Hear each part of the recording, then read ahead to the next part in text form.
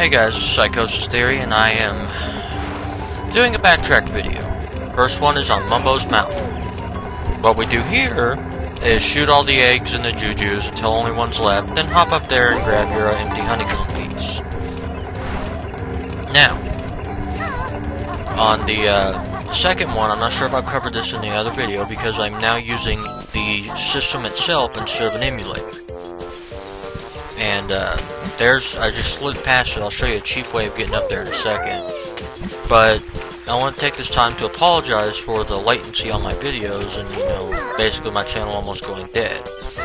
I've been really busy for the past few days, and after I get home from work, all I really want to do is just, you know, basically it's been really stressful around the holidays.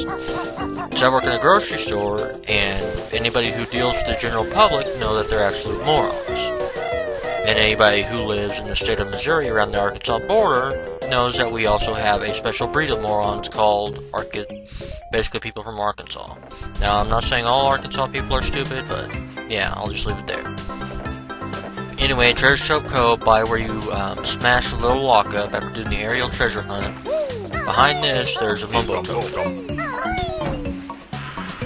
Alright, now I almost, and that's basically where I zoom in here, is where I said, you know, this is it guys, bye. Then two seconds later I see the honeycomb piece.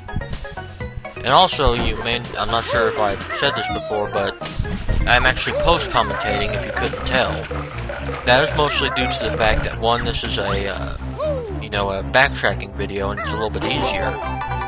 And two, because Audacity screwed me out of three hours of commentary. Yes. Now, back behind uh, Clipper's shell is another Mumbo token.